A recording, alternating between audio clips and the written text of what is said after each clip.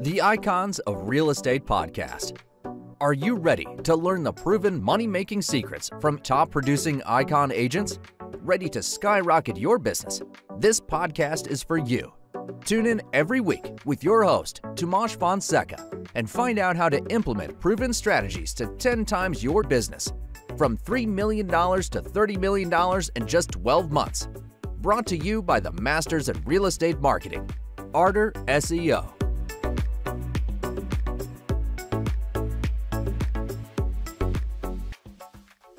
Welcome to the Icons of Real Estate podcast. I'm your host, Patty Teal.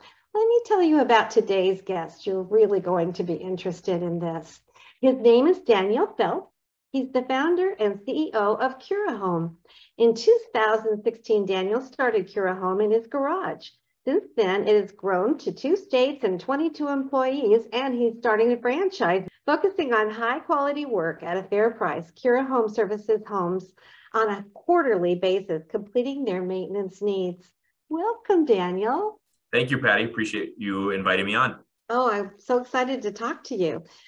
You'll find out I know very little about home maintenance. So uh, businesses like yours are, are like gold. yeah, that's okay. A lot of people don't know what they don't know about home maintenance, and, and that's why we have a business. Oh, yes, that's why you have a business for people like me. That's for sure. So, uh, could you start with telling me about the journey to get this business going all the way to where you are today and what interested you in the first place about starting this type of business? Yeah, I think to tell my entire story, I have to go all the way back to childhood. I, I did grow up, yeah, I, I did grow up in an entrepreneurship family. My um, parents raised and sell golden retriever puppies, and um, I think they've sold a puppy to every state. They're they're very well known in the community, especially here in Minnesota. And so saw that that really gave me a lot of confidence. Um, you know, I would start out, you know, through my childhood, I would train horses for people, and through 4-H, I was kind of kind of nerd that way. But um, went into college, I always wanted to invent something, um, but I always feel like everything's already been invented. But um, when the opportunity came up to start Kura Home, I had worked for an agriculture company and, and created a ton of SOPs for them. They produce about 6 million chicken eggs a day.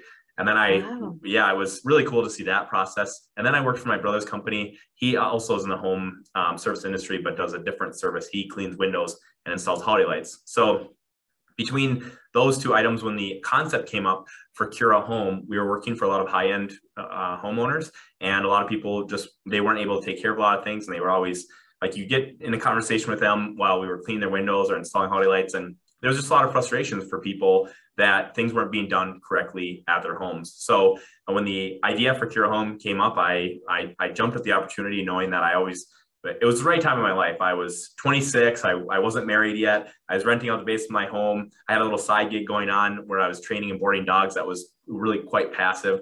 And uh, it was really the right opportunity. So I decided to start Kura Home in 2016 on my garage. Oh boy, that's great. It sounds like you're an entrepreneur at heart and you were watching for opportunities.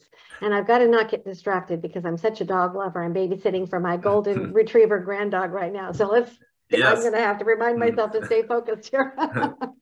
they are so, great. Yeah, they're wonderful. So, could you tell me? Uh, I know you have home maintenance that gets on a routine, it's on a mm-hmm. quarterly basis, I think, a schedule. So, when you go into people's homes, uh, or maybe you also do businesses, I'm not sure you can let me know about that, but what do you look for and what do you check and what do you fix? Yeah, we come into a home and we maintain up, upwards of 32 different items in the home, and some are really, really important, and some fall down more on the homeowner's preference. We do a majority of work for homeowners, mostly because we have found that the people that own homes care about them a lot more than uh, typically people who are renting or own real estate. And there's not as many items that need to be maintained and your typical uh, it's like small commercial building, for example. So oh, majority of our, yeah, um, a lot of our work is uh, residential, and what we do our entire process is we'll come into your home and we send in a, a, a salesperson to walk through your entire home with you. And it, it's it's really um, simple because we just walk through and we show you, hey, Patty, and if I lived in your home, here's everything that I would maintain. And then we have an a la carte option. It looks like a report card that you would receive in elementary school where you can check all the subjects or all the items that you want us to maintain. And then there's a column for each quarter. And then on pages two through six, we actually take a photo of everything that we did for you as well at your home. So starting in the kitchen, there's a ton of stuff. Cleaning your refrigerator coils, we'll provide and change that filter for you. Clean the range hood. We um, clean and seal your granite countertops for you. Clean the garbage disposal. Wash machines have filters. Washing machines need to be cleaned the stainless steel um, we will polish that for you too and, and, make that look really really nice. And that's that's just in the kitchen. Uh, utility room we spend a ton of time with as you can imagine. That's kind of we think of the utility room as almost like the heart of the home where that's that's pumping all the air through everything and it's it's making it clean and things like that. It works very similar to the way that your heart does. And so providing and changing all those filters draining water heater sediment cleaning air exchangers they're very neglected there's there's a ton of stuff that needs to be done. But our really common services that people are almost always selecting are like cleaning your dryer vent, cleaning bathroom fans, cleaning AC units, cleaning refrigerator coils. Those items that, if neglected, it's causing the machine to work a lot harder, which it, it increases your utility bill, but also decreases the life of that appliance. Wow, that's a lot. And it's all the things that we uh, put by the wayside because you're not staring at your refrigerator coil, so right. you forget about them. So things yes. like that are very important though. And I know uh, I read on your website that you also do air duct cleaning. And um, does that help with allergies? And how often should that be done?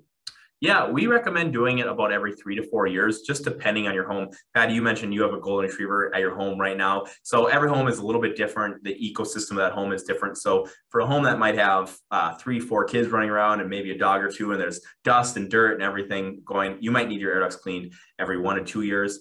A lot of times when people are calling us for um, air duct cleaning, they're talking about something new, like a new home, a new baby, a new furnace, a new construction project, or it's been three to four years since they've had their air ducts cleaned, and they're noticing that there's dust piling up on their like nightstand or things like that, and that's a really good time.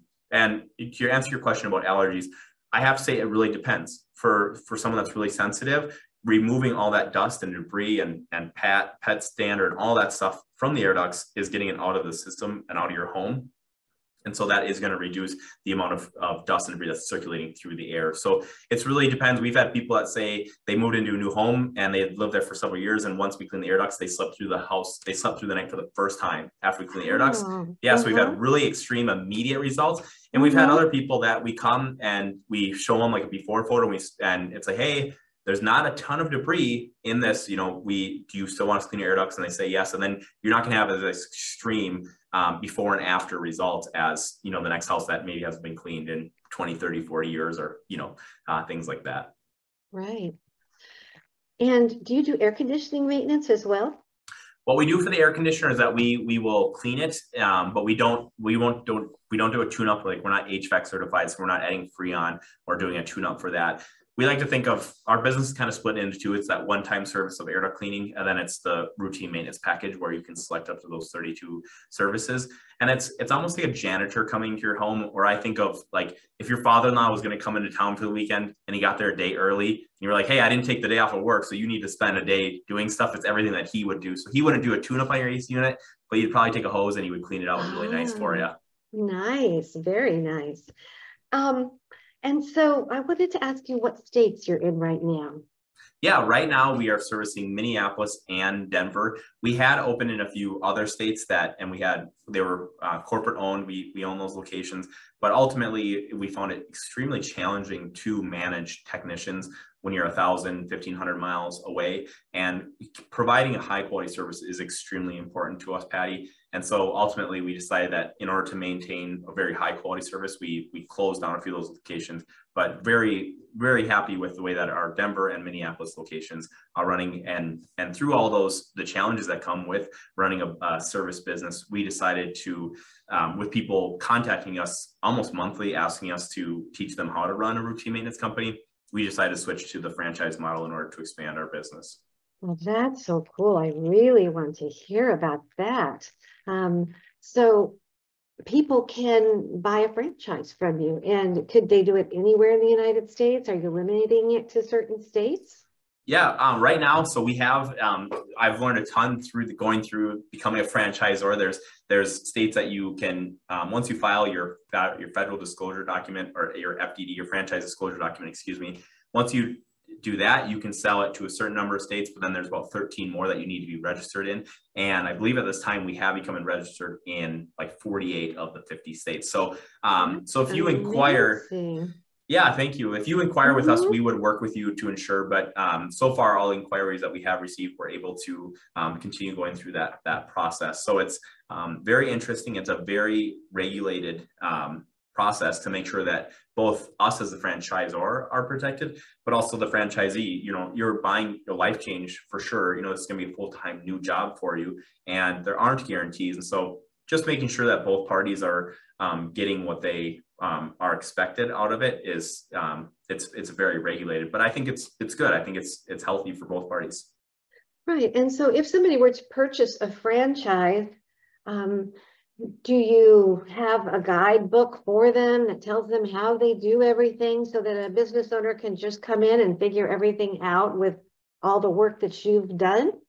Yeah. So from my background of creating the, those standard operating procedures for the agriculture company that had 6 million eggs going through their facility a day i when i first started kura home i kind of in the very beginning even though i hope that um, i know i won't personally see it but i hope kura home celebrates 100 years at, at one point and maybe that's my kids or my grandkids or we've sold i don't know yeah. yes but I do know that in seeing successful businesses that are have celebrated decades of, of time, they have a lot of systems and processes in place to ensure that quality. And so in the very beginning, I started creating systems and processes and documenting them.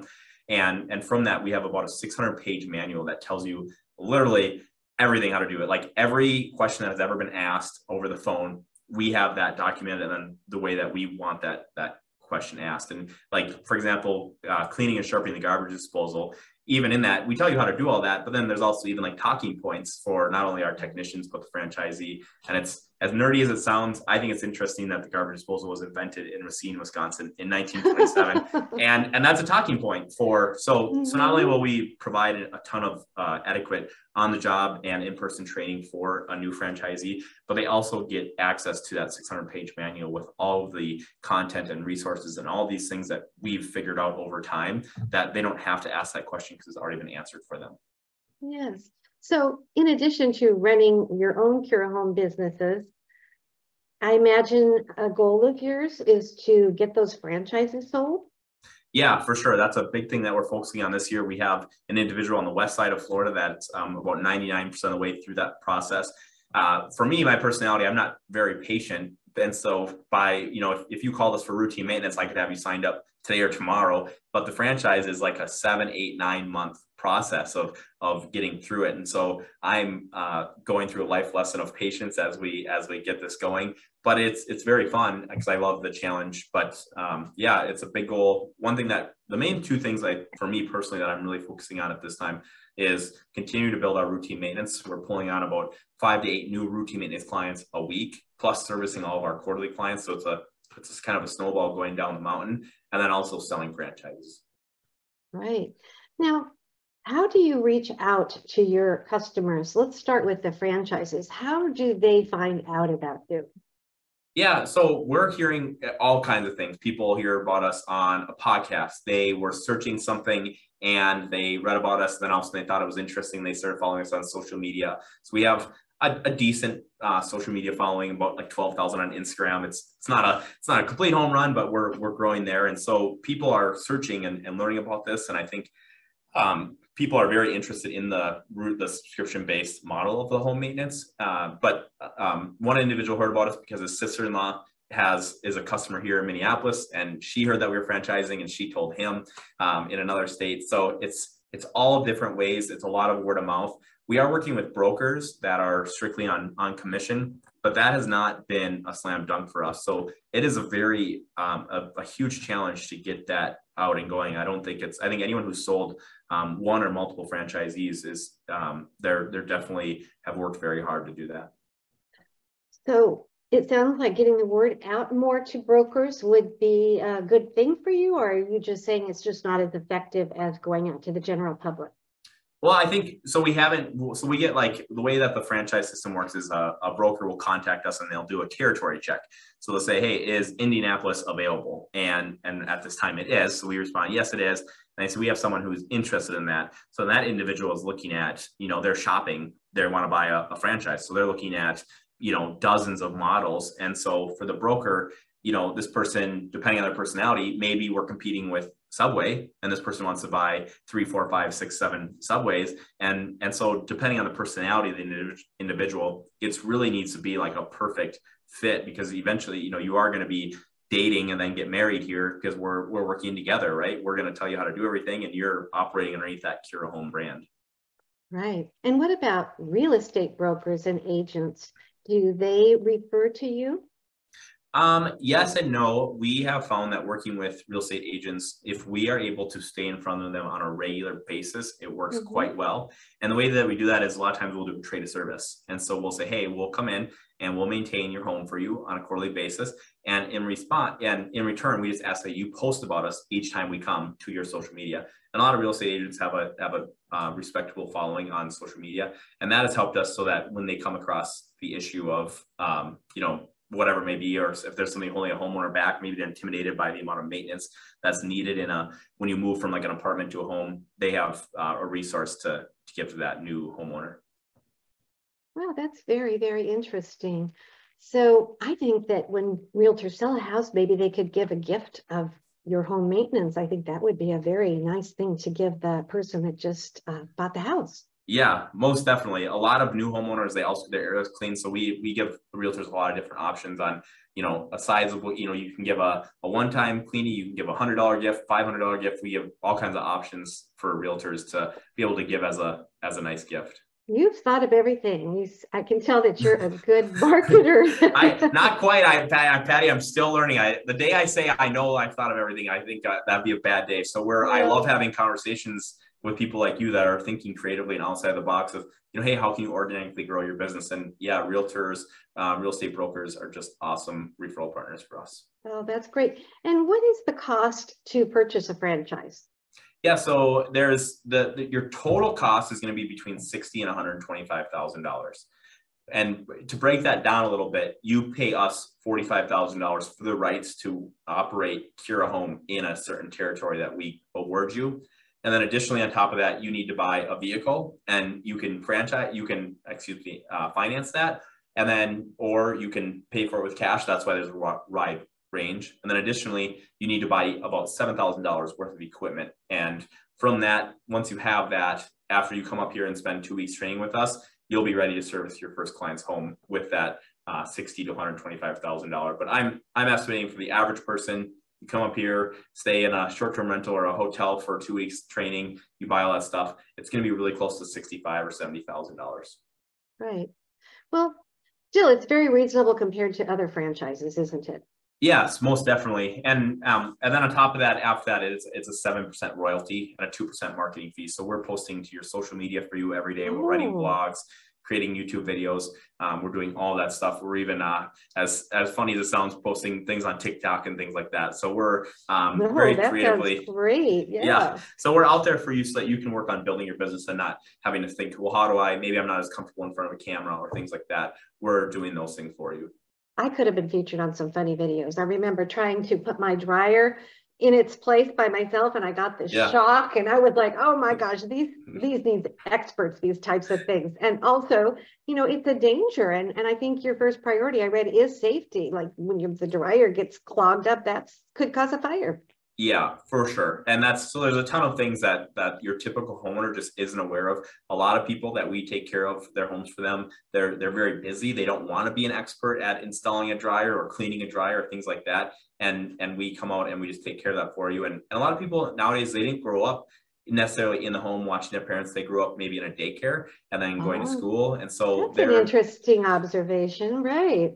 For sure. So yeah, and, and homes are also becoming more complex. So all these things are coming together for really, it was kind of the perfect little storm to start a routine maintenance company um, in when we did, and, and it's growing quite quickly. And I think our biggest downfall, the, the one negative to our company is that the the amount of people that Google or search for a routine home maintenance company is very low because there's not a ton of competition. So we want competition, but they're not they're not out there quite yet. There's a few companies across the state doing what, or across the country doing what they're doing, but it's it's very minimal compared to like a uh, carpet cleaning or HVAC. You know, there's thousands of those companies in each state.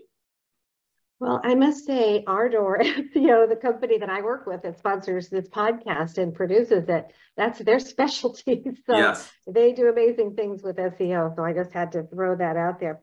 Now, what makes you uh, have that drive to not just be satisfied with the business, but wanting to expand it and make it bigger? Why do you have that in your heart?